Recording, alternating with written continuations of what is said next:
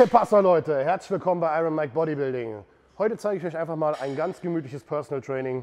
Ab dafür.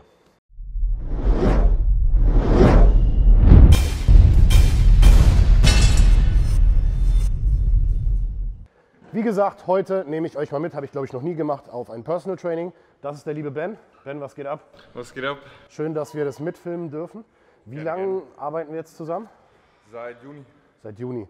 Das Geile ist, im ersten sehr gutes Beispiel dafür, was passieren kann, wenn man das alles schön adaptiert und es einfach mal aufnimmt. Ähm, wir können hier mal ein Bild einblenden, wie er am Anfang ausgesehen hat und ihr seht jetzt, wie er mittlerweile aussieht. Da hat sich wirklich einiges getan. Und ähm, wir sind auch erst am Anfang der ganzen Nummer. Wir haben erst eine Einstellungsphase gemacht, sehr, sehr nah an den Verbrauchskalorien. Dabei ist schon viel passiert. Dann das neue Trainingssystem eingeführt, das zeige ich euch jetzt. Und äh, mittlerweile würde ich sagen, rollt ja. auf jeden Fall. Läuft. Deswegen heute ist Pushtag und wir zeigen euch jetzt einfach mal, wie das so abläuft. So. Wir sind jetzt im dritten Satz. Pushtag. Ben hat zwei Pushtage. Einen mit Brustfokus, einen mit Schulterfokus. Und ja, wir arbeiten am Anfang mit einem Pyramidensystem, sowohl bei der Schulterübung als auch bei der Brustübung.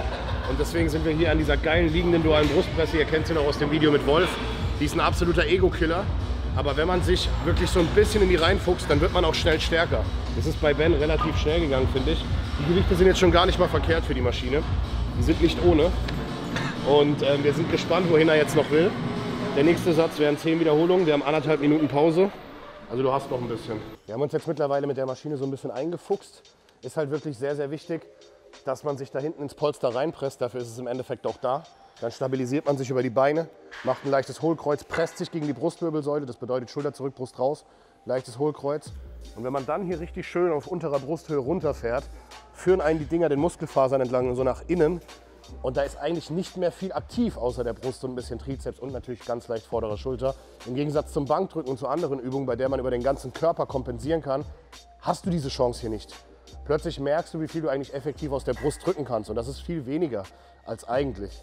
Aber es knallt rein, ne? Ja, du kannst vor allem, das ist richtig geil, du kannst vor allem die ganze Zeit korrigieren, indem du dich einfach nochmal während äh, der Wiederholung reindrückst. Einfach nochmal richtig spürst, wie die Schulterblätter sich bewegen. Nochmal schön einen Technikcheck machen kannst, vor allem bei den letzten Raps. Ist das geisteskrank. Klappt bei dir auch gut. Das sieht man. Du drückst gar nicht zu weit raus. Die Schulterblätter kommen nicht vor. Ja. Das ist richtig geil. Hier beim Pyramidensystem ist es dann halt so, du machst deine Steigerung pro Satz, machst aber weniger Wiederholungen. Wenn du irgendwann zum Beispiel merkst, scheiße, das war jetzt verdammt schwer, dann musst du halt überlegen, was mache ich jetzt vom nächsten Satz aus? Also was mache ich für den nächsten Satz? Eigentlich geht es nur darum, irgendwie zu steigern, um das System beizubehalten. Das heißt, selbst wenn es jetzt 1,25 Steigerungen wären, würde das zwar irgendwie bedeuten, man hätte vorher ein bisschen schlecht kalkuliert, aber es wäre immer noch in Ordnung. Ich sage zu mir immer, ich mache das System auch. Ich habe einen großen Fail, wenn ich merke, ich habe mir zum Beispiel 15 Reps vorgenommen mit einem Gewicht und danach wollte ich hochgehen und 12 machen und ich merke, ich schaffe schon jetzt nur 12, dann habe ich verkackt. Dann weiß ich, ich habe falsch kalkuliert. Ne, Ich muss das Gewicht also beibehalten. Gut, beim nächsten Mal weiß ich es besser. So, 8 Reps. Wir sehen das, wie schön er sich hier fixiert. Funktioniert perfekt. Pedal treten, einmal wirklich runterdrehen. Dieses Runterdrehen ist wie, als würdest du die Stange biegen wollen. Dadurch festigst du dich, schießt, äh, ziehst die Schulterblätter zusammen. Leichtes Hohlkreuz. Und dann einfach runterlassen in den Stretch.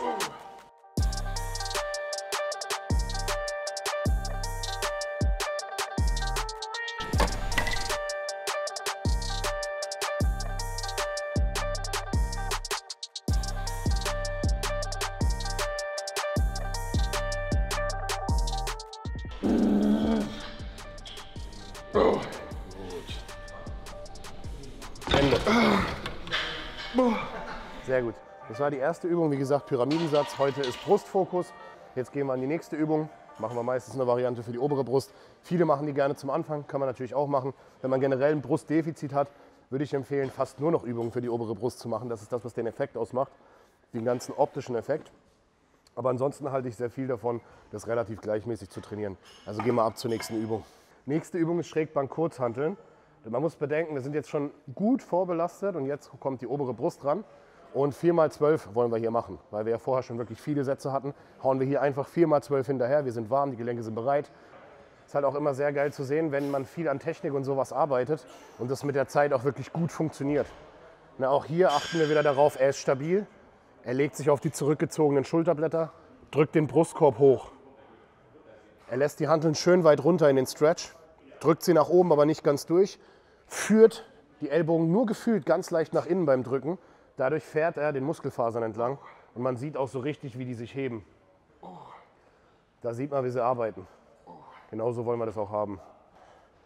Was ich halt immer mache, was auch ein bisschen gemein ist, was aber auch ungemein hilft, ist, dass ich so ein bisschen die Pausenzeiten im Blick habe. Ich habe für jede Übung spezifische Pausenzeiten und ähm, die, ist immer, die sind immer so ein bisschen an die Übung angepasst, je nachdem wie anstrengend es ist, wie viele Muskeln involviert sind und so weiter und so fort und wie die auf die Puste gehen. Auf geht's!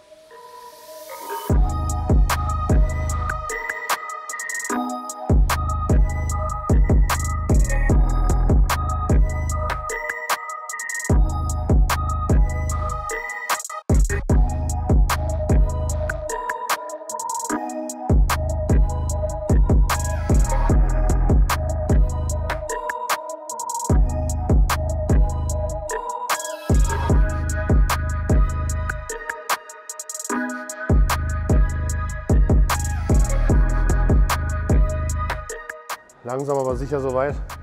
Ben pusht sich schon wieder ein bisschen mit Motivation. Macht er gerne, der hat dann immer was im Ohr. Machen viele von euch bestimmt auch. Schreibt es mir in die Kommentare, was ihr so hört.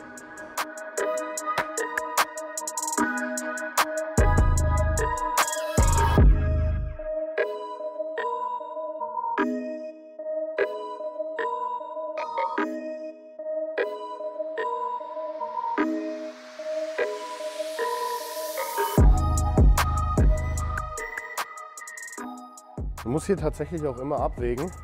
Du selbst merkst ja, wie schwer das wird, während du den Satz machst. Aber das liegt auch daran, wie du die Übung ausführst. Du kannst dich da irgendwie so durchpeitschen oder du kannst wirklich jede Rap anständig mitnehmen und dann ist es nicht unnormal, dass du irgendwie nach sechs oder sieben merkst, Alter, was passiert denn hier? So leichtes Gewicht schwer machen. Ne, das ist ganz, ganz wichtig. Und ich würde da das Ego hinten anstellen. Wenn du sieben Stück schaffst, voll in den Muskel rein, Muskelversagen, ist es besser als zwölf Stück mit Schulter rausdrücken. Ne, deswegen immer schauen, dass das passt. Heute ist Brustfokus. Das bedeutet, wir landen, wir landen noch bei einer weiteren Brustübung und höchstwahrscheinlich ist es die gemeine. Sehr schön. Der absolute Ego-Killer, mit dem Wolf auch seinen Spaß hatte. Da gehen wir jetzt hin. Butterfly, Schrägbank, Plate Loaded. Dritte Übung, da landen wir dann hier. Wir wollen so ein bisschen eine Butterfly-Übung machen, vollen Brustmuskel mitnehmen. Und da der hier noch erhöht ist und Plate Loaded, ergeben sich so ein paar Dinge, die die Übung verdammt schwer machen. Nämlich einmal die Erhöhung. Zweitens, Plate Loaded ist immer ein bisschen schwerer von der Übersetzung. Und ähm, du musst auch sehr, sehr viel selbst übernehmen von der Stabilität. Und das macht die Übung verdammt schwer, wenn man sie richtig machen will. Bei Ben klappt das mittlerweile aber ziemlich gut. Wir sind auch hier relativ anständig unterwegs. Wir fangen einfach mit 5 Kilo an, damit die sitzt. Was wir hier machen, Brusthöhe greifen auf beiden Seiten. Schulter zurück, Brust raus, wirklich Schulterblätter zusammenziehen. Arme freezen, Genau, zumachen, während die Schulterblätter immer noch hinten sind. Und beim Zumachen so leicht die Ellbogen nach innen reinneigen, um den Brustmuskel noch ein bisschen mehr mitzunehmen. Und dann merkst du sehr schnell, dass die Übung dir gar nicht so viel Gewicht erlaubt. Sehr gut. Man sieht es dann auch hier, wenn jemand so ein bisschen auf dem Niveau ist, wie es bei Ben mittlerweile ist, kann man wunderbar sehen, dass der Muskel dir erzählt, ob er getroffen wird oder nicht. Hier ist er quasi so weit oben am Ende. Viel höher geht gar nicht. Wir hatten eben noch überlegt, also klingt jetzt blöd, ja, aber ihr habt es auch in dem Video mit Wolf gesehen, die Übung ist scheiße schwer. Ähm, bei den meisten fange ich hier tatsächlich ohne Gewicht an, weil allein die Bewegung schon den Brustmuskel so forciert, dass du wirklich merkst, was du tust. Die Arme wiegen auch ein bisschen was und so lernst du es eigentlich am besten, wenn du einfach erstmal so rangehst und du wunderst dich, dass du nach vier Sätzen plötzlich trotzdem Pump hast. Mittlerweile sind wir hier, ist auch die dritte Übung, muss man sagen, bei 5 Kilo angekommen, sind absolut ausreichend.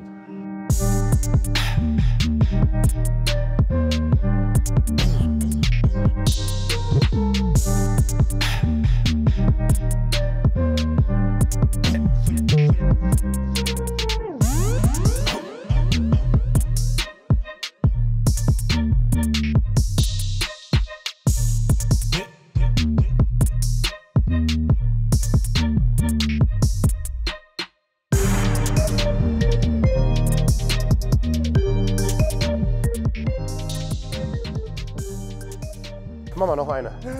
auf und komm ran, Ellbogen zu. Komm. Ja, das reicht uns, das reicht uns. Gut. Mit was für einem Ziel bist du zu mir gekommen? Ja, das Ziel Erstmal nach äh, sieben Jahren, nach sieben Jahren äh, Bodybuilding, ähm, dann doch mal das volle Potenzial rauszuholen, weil man merkt halt, ähm, es sind halt wirklich die kleinen Dinge. Also das hat man halt auch bei Mike gemerkt. Und ich bin ja wirklich jemand gewesen, der hat sich viel mit der Thematik auseinandergesetzt. Ich habe viele Zeitschriften gelesen, Bücher, man hat sich mit ganz vielen Menschen unterhalten, hat mal alles ausprobiert und man hat dann doch noch mal den Unterschied gemerkt, was das heißt, wirklich jemand an die Hand zu bekommen, der halt sagt, hier, es sind die kleinen Dinge, Ernährung, es ist wirklich, es ist halt ein Witz, aber nichts mit 80, 20 Training, Ernährung, es ist 105% Ernährung und 100% Training, es ist einfach so. Ja, wir haben tatsächlich an beiden Schrauben sehr viel gedreht. Ne? Das macht schon was aus. Und das, ey, ich sag's immer wieder, es ist ein Riesenunterschied, ob du den Muskel zu 40 Prozent triffst oder zu 80. 100 geht halt nicht, ne? weil du hast immer Synergisten. Aber ich sehe es halt oft, dass der Muskel eigentlich bei keiner Übung so richtig mitgenommen wird, wenn dann immer nur so zum Teil. Und das liegt oft daran, dass zu viel Gewicht genommen wird. Wenn man das alles resettet, dann ist das Training plötzlich ein Faktor, der sehr viel ausmachen kann. Ja, dann wären wir mit Brust durch. Wir wollen noch ein bisschen Schulter machen. Sehr gut. Ähm, ja, in dem Fall gehen wir ähm, zur Plate-Loaded Schulterdrückmaschine. Die ist ziemlich geil. Auf geht's. Da sind wir jetzt bei der Plate-Loaded Schulterdrückmaschine. Auch hier sehr geil. Es gibt eine Drop-Set-Funktion. Ne? Also wenn irgendwas ist, kann das Pedal gedrückt halten und dann einfach die Hebel runterziehen. Und dann haut das Gewicht nach hinten. Ähm, das würde aber wahrscheinlich wieder mal nur passieren, wenn wir versagt haben. Wollen wir nicht. Es gibt auch hier wieder ein Pyramidensystem und hier ist es besonders gemein. Wir arbeiten auf Reps. Wir wollen im ersten Satz 20 und wir gehen dann immer so um zwei bis drei Reps runter und versuchen trotzdem ein bisschen Gewicht zu steigern. Das heißt, wir pumpen die Schulter einfach noch ein bisschen auf. Hier ist gar nicht so viel Raum für viel Gewicht, denn wir haben vorher schon sehr, sehr viel geballert. Heute war mehr Brustfokus. Bei der Brust wurde mehr auf Gewicht geachtet. Hier wollen wir Reps abarbeiten und das machen wir jetzt. Die Ellbogen ein bisschen weiter vorfahren, genau. Was hier sehr gut funktioniert an dieser Maschine, du willst ja auch über dich wegdrücken. Deswegen musst du auch dein Ellbogengelenk wieder anpassen, dass es nicht nach hinten wegknickt, wenn du runterkommst. Du lehnst dich auch hier wieder auf die Brustwirbelsäule, Schulter zurück, Brust raus, stabilisierst dich und dann kannst du wirklich sehr, sehr gut durchdrücken. Du gehst so bis Kinnhöhe runter, lässt die Ellbogen eher nach vorn einfahren und dann kannst du durchdrücken.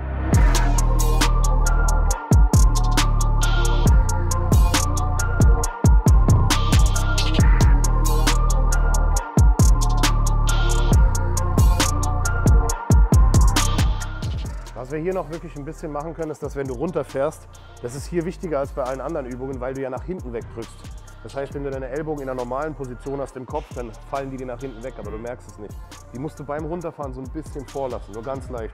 Dann passt es. Das hat gesessen. Schulterblätter zurück. Und vom Griff her müssen wir schauen, dass wenn du unten auf Kinnhöhe bist, dass die nicht nach außen geneigt sind. Wenn überhaupt so. Ganz leicht nach innen wäre auch noch in Ordnung. Ja, ich glaube, das ist immer bei mir so diese Kopfsache. Mhm. Wenn ich weiter äh, außen greife Ja.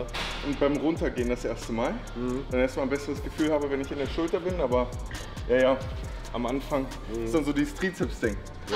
Ja. Ne, weil man, am Anfang muss ich mich erstmal mal dran gewöhnen, okay, fühlt sich jetzt gar nicht so wie Schulter an. Mhm. Wenn du dann aber Kinnhöhe wieder hochdrückst, Dann hast du es, genau. Das nächste Ding ist meistens, je weiter runter du gehst ab Kinnhöhe, desto mehr wird einfach biomechanisch automatisch dein Gelenk eingedreht. Es geht gar nicht anders. Und dann fängst du halt an, hier vorne rumzuschaben. Und das ist nicht cool. Das sieht man jetzt sehr gut. Wir haben die Kinnhöheposition. Die Ellbogen sind am besten gerade ausgeneigt. Wenn das Gelenk nach vorne eingedreht ist, dann ist es sogar okay, wenn sie ganz minimal nach innen geneigt sind. Er schiebt über den Handballen, das ist hier völlig in Ordnung. Und dann Schulter zurück, Brust raus und los geht's 17.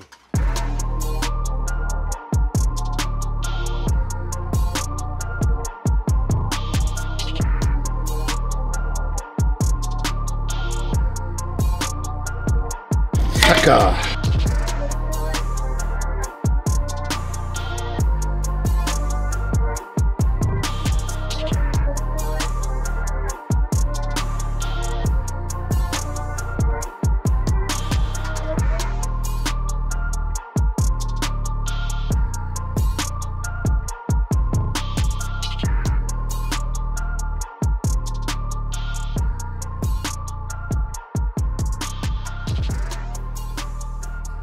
Gut. Als nächstes auf dem Plan Seitheben. Da werden wir auf jeden Fall schauen, dass wir hier kurze Pausen einhalten und immer wirklich intensiv rausholen die Dinger. Ähm, vor allem mit der Vorermüdung jetzt wird das sehr, sehr interessant. Ab geht's. Das ist übrigens der Ben aus, de, aus dem Video, ähm, aus dem Mindset Talk Video, als ich über Talent geredet habe. Weil der Typ hat eine unfassbar kranke Genetik, aber hat anfangs gerne mal so ein bisschen, ja, mal ein bisschen eingehalten, da mal wieder so nicht und hat trotzdem gut ausgesehen. Und ich habe ihm da mal so eine Ansage gemacht, weil ich dachte, das kann doch wohl nicht wahr sein, dass du mit deiner Genetik so eine Scheiße machst. Du könntest so krass aussehen. Seitdem, brutal.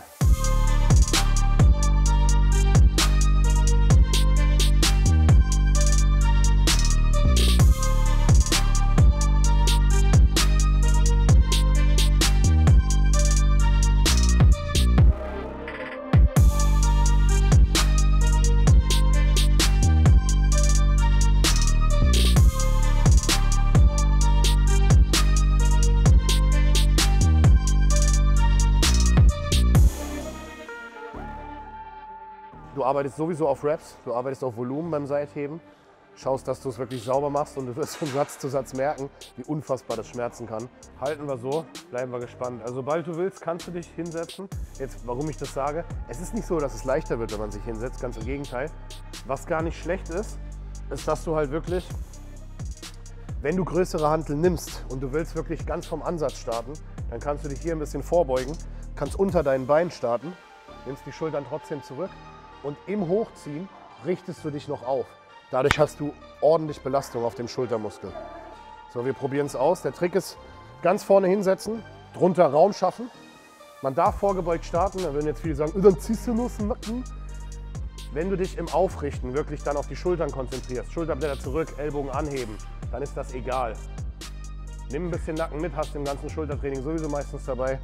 Wichtig ist, genau, Ellbogen hochziehen, dann kannst du auch so ein bisschen mitschwingen, triffst aber immer noch sehr, sehr gut. Komm. Wenn du nur übers Schwingen arbeitest, quasi wird es leichter, klar. Aber das ist ja das, was ich eben gemeint habe. Wenn du unten anfängst, Schulterblätter hinten und dann im Aufrichten auch noch hochziehst, dann ist es rein wirklich dieser Muskel. Und das tut bösartig weh. Wichtig ist, welcher Impuls zustande kommt. Und das ist ja immer dieser hier. Wenn du nicht mehr kannst, dann kommst du eben nur bis hier hoch. Das ist immer noch wirksamer, als wenn du anfängst, den Flattermann zu machen. Ne, Also es ist wirklich, bleib weiter in der Bewegung. Selbst wenn sie nur noch im Ansatz folgt in den letzten Reps, ist das immer noch Effekt. Das haut schon gut rein. Also machen wir weiter. Ich glaube Trizeps jetzt. Ne? Jetzt kommen Dips. An der Plate-Loaded-Maschine. Oh ja. Machen wir. Hier haben wir auch ordentlich Spaß, indem wir beides maximal rausholen. Er lehnt sich nach vorne, gewährleistet dadurch, dass er, wenn er drückt, wirklich aus dem Ansatz auch der Brust drücken kann. Beim Drücken richten wir uns dann schön auf. In der Endposition spannen wir nochmal die Brust an, drücken die Ellbogen so ein bisschen zusammen. Und dadurch haben wir auch durch das volle Durchdrücken komplett den Trizeps involviert. Das heißt, du hast hier das Beste aus beiden Muskelgruppen, die hier mittrainiert werden. Und so wird die Übung wie immer scheiße schwer. Genau dieses Tempo versuchen wir hier auch zu halten. Sehr gut. Vor, lassen hoch und aufrichten beim Durchdrücken. Zack. Bisschen mehr ausreizen, oben ein bisschen fühlen. Drei. Sieben. Komm schon. Acht. Neun. Aufrichten. Zehn. Aufrichten. Elf. Mehr. Zwölf. Dreizehn. Nochmal. Ende. Boah. Dann gehen wir zur French Press. Letzte Übung für heute. Ein bisschen Trizeps noch mitgenommen. Übrigens halt Dips in jeder Variation einfach eine sehr geile Übung für Push-Tage. Ne? Brust und Trizeps. Ziemlich geil. Okay, French Press. Zwölf Stück. French Press Effekt maximieren. Oberarme steif. Wirklich deswegen auch Skull Crusher. Weit runtergehen bis zur Stirn. Überstreckung mitnehmen und dann schön nach oben durchdrücken.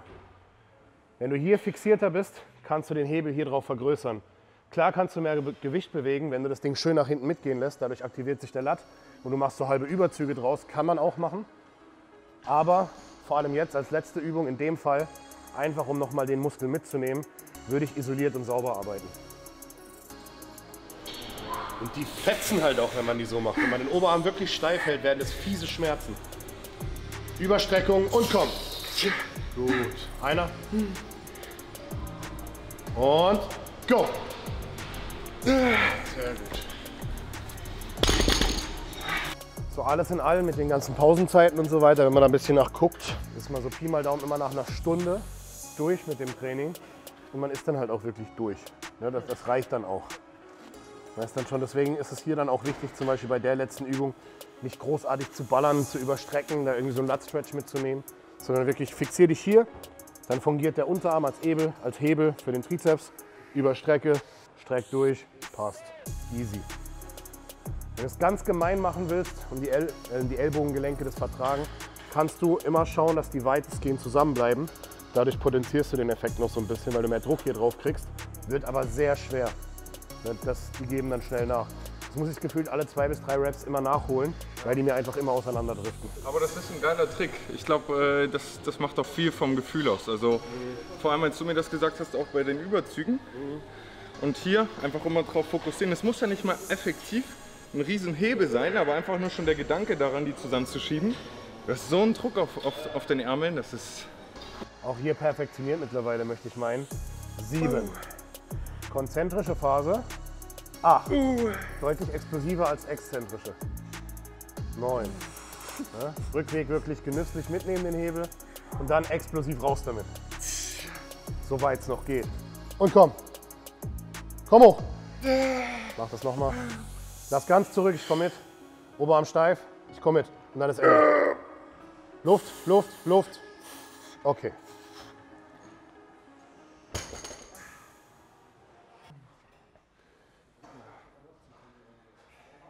Schau dich an, zufrieden, ausgepumpt. Sehr, sehr gut. Geiles Ding wie immer, Mann. Ja, das ist der gute Ben.